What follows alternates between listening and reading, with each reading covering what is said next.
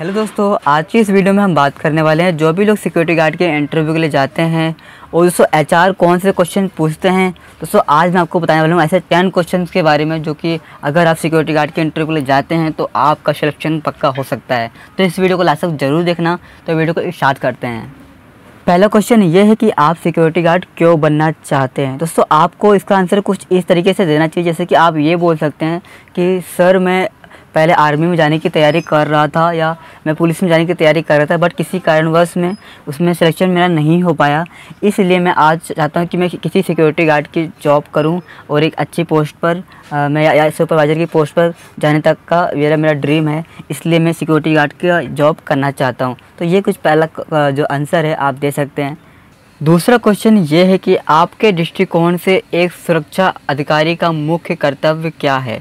दोस्तों, इसका जो आंसर है आपको कुछ इस तरीके से देना है, जैसे कि आप ये कह सकते हैं कि आप जिस भी अपार्टमेंट या मॉल या जिस भी लोकेशन पर आप रहेंगे, आपको जो मूल कर्तव्य है, आप ये कहेंगे कि मैं अपने जो भी हमारे जो स्टाफ हैं या जो भी कस्टमर्स हैं, आप उनका ध्यान रखेंगे या कह सकते हो, आप उनकी सुरक्षा का ध्यान रखेंगे। तो ये आपका मूल कर्तव्य है, कुछ इस तरीके से आप बोल सकते हैं। तीसरा क्वेश्चन ये है कि आपको ऐसा क्यों लगता है कि आप सिक्योरिटी गार्ड की नौकरी के लिए ठीक है।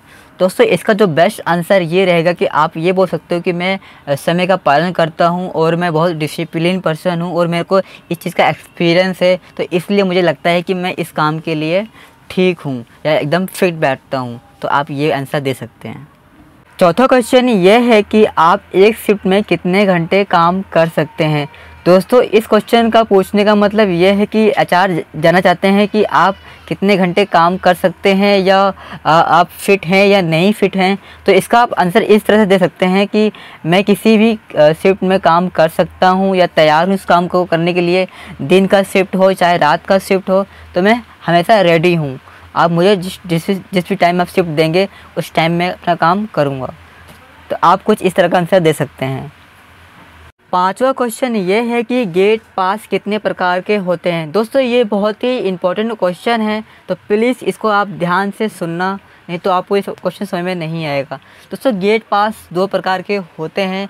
एक होता है रिटर्नेबल मतलब आपको एक लिखित में आपको एक देना पड़ता है कि हम इस चीज़ को ले जा रहे हैं या लेके आ रहे हैं। तो एक तरह का गेट पास होता है जो कि सिक्योरिटी गार्ड और जो भी हेड होते हैं उस, या कहते हैं मॉल में या जो भी जैसे अपार्टमेंट में आप जाते हैं, वो वहाँ पर साइन करता है, तभी वो चीज़ अंदर आ पाता है वो बाहर जा पाता है। तो दो दो दो तरह के होते हैं, एक आरजीपी और एक होता है आर एन जी पी मतलब एक रिटर्न में होता है और एक बिना रिटर्न में होता है। तो दो तरह के गेट पास होते हैं। बाकी और जानकारी के लिए आप और वीडियो देख सकते हैं। छठा क्वेश्चन ये है कि एच आर पूछते हैं कि मुझे अपनी शारीरिक फिटनेस के बारे में बताओ। तो दोस्तों, इसका मतलब ये है कि जो एचआर है, वो जानना चाहता है कि आपकी जो हेल्थ है, जो आपकी जो बॉडी का, जो वेट है, या आपकी जो हेल्थ का कंडीशन हो, कैसा है।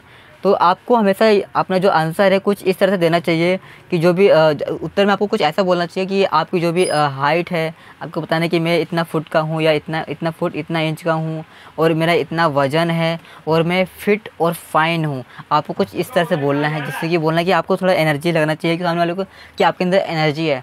तो ये आपको आंसर देना है।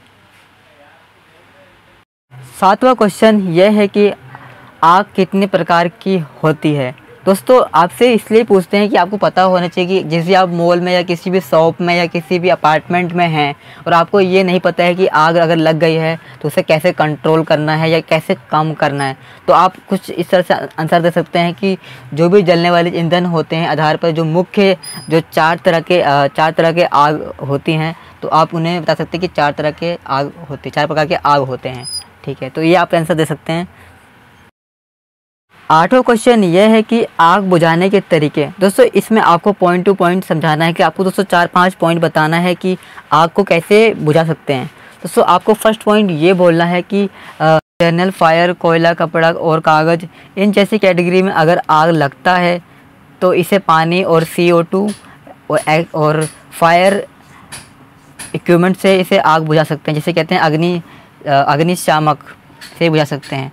हम सेकंड पॉइंट की बात कर लेते हैं। सेकंड पॉइंट ये है कि अगर दूसरे जैसे जैसे सेकंड पॉइंट बोलते हैं, जैसे कि डीजल में अगर आग लगती है या पेट्रोल में आग लगती है, पेट्रोल से आग लगती है तो हमें यहाँ पे एक डीसीपी और फायर इक्विपमेंट्स की ज़रूरत पड़ती है जो कि हम उससे आग बुझा सकते हैं। थर्ड पॉइंट की बात कर रहे थे जैसे कि मान लीजिए किसी के घर में बिजली से या किसी शॉर्ट सर्किट से अगर आग लग जाती है तो इसे भी हम डीसीपी और प्लस में प्लस सी ओ टू दोनों को दोनों से मिला मिला होता है तो इससे हम आग बुझा सकते हैं।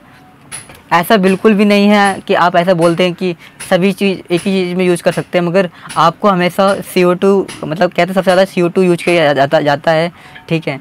अगर आपको हमेशा ये बोलना है कि ये ती, तीन तरह के कुछ पॉइंट अगर बताएँगे तो इससे आपका जो पॉइंट है और आपका जो इंटरव्यू है काफ़ी अच्छा जाएगा। तो कुछ इस तरह से आप बता सकते हैं। नवा क्वेश्चन ये है कि यदि आपका किसी भी अन्य सिक्योरिटी गार्ड के साथ कोई विवाद होता है तो आप स्थिति को कैसे संभालेंगे? दोस्तों, इस क्वेश्चन के पूछने का अचार का मतलब ये है कि वो जानना चाहता है कि आप सिचुएशन को कैसे हैंडल करने वाले हैं। दोस्तों, अगर आपके अगर मान लीजिए आप बहुत गुस्से वाले हैं या वो मतलब आप, वो आपकी जो रिएक्शन है, उसे चेक करना चाहते हैं कि आप उस सिचुएशन में आप कैसे हैंडल करेंगे? तो आपको इसका आंसर कुछ इस तरीके से देना है। आपको ये आंसर करना है कि आप जिस भी लोकेशन पर रहेंगे, या जो भी आपके साथ स्टाफ हैं, या जो भी आपके साथ तो कलीग हैं, उनके साथ आप जो बिहेवियर है, वो अच्छा रखेंगे। और अगर कोई सिचुएशन ऐसी हो जाती है तो आप उनसे मिलकर प्यार से जो भी सीनियर्स हैं, उनसे मिलकर डिस्कशन करके उस प्रॉब्लम को सॉल्व कर सकते हैं। ना कि किसी से लड़ाई करके, ना कि किसी से मारपीट करके आप उसे सोल्यूशन निकालेंगे। आपको हमेशा प्यार से काम लेना है, और क्योंकि जिससे आपकी जो जॉब है, उस पर भी बहुत ज़्यादा प्रभाव पड़ता है। इससे आपकी जो ग्रोथ है, वो अगर आप ऐसा कुछ करते हैं तो आपका जो जो ग्रोथ है, वो रुक जाती है। तो इसलिए आप ऐसा कोई काम ना करें, आप ऐसा कुछ बताएँ उनको, ठीक है? कि मैं ऐसा कुछ नहीं करूँगा और मैं हमेशा सोच समझ के काम करूँगा और समझदारी से काम करूँगा। कुछ ऐसा आंसर आप देंगे तो अच्छा लगेगा उनको एचआर को। भारत के इमरजेंसी नंबर के बारे में क्या आपको पता है? दोस्तों, इसका जो आंसर है, आपको कुछ इस तरीके से देना जैसे कि आप बोल सकते हैं कि अगर आप दिल्ली में रहते हैं तो आप ये बोल सकते हैं कि जो दिल्ली पुलिस का जो नंबर है, वो सौ नंबर अगर डायल करते हैं तो दिल्ली पुलिस के पास लगता है। अगर एक सौ बारह डायल करते हैं तो इमरजेंसी कॉल पे लगता है जो कि जो जो कि पेट्रोलिंग करती है। तो कुछ इस तरह से आप बोल सकते हैं जो भी अगर एंबुलेंस का जो नंबर है जो फायर ब्रिगेड का जो नंबर है आप कुछ इस तरीके से बताएँगे तो अच्छा लगेगा उनको कुछ इमरजेंसी नंबर के बारे में बताएँगे तो इससे क्या होगा कि उनको लगे कि, हाँ आपको नॉलेज भी है और आप अवेयर भी हैं। तो इस तरह कुछ आपको आंसर देना है। तो यही था आज का जो दस क्वेश्चन थे उस और अब मैं आपको कुछ अलग से टिप देने वाला हूँ। अगर आपको इसी तरह की वीडियो को देखने के लिए आपको मैं एक चैनल के बारे में बताना चाहता हूँ। इसका नाम है क्यूक लर्नर सिक्योरिटी से नाम से चैनल मिलेगा आपको। यहाँ पे सिक्योरिटी, सेफ्टी और जॉब से रिलेटेड वीडियो को देखने को मिलती है यहाँ पर। आपको वैकेंसी के बारे में पता चलेगा यहाँ पर।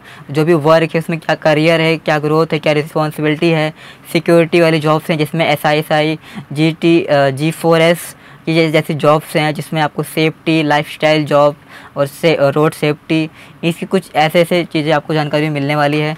इसे और और आने वाली जितनी भी इंपॉर्टेंट नॉलेज होती है, वो आपको इस चैनल पे मिलेगी। और इस चैनल का जो ओनर है, उनका नाम है, जो होस्ट हैं, उनका नाम है Krishna Kumar.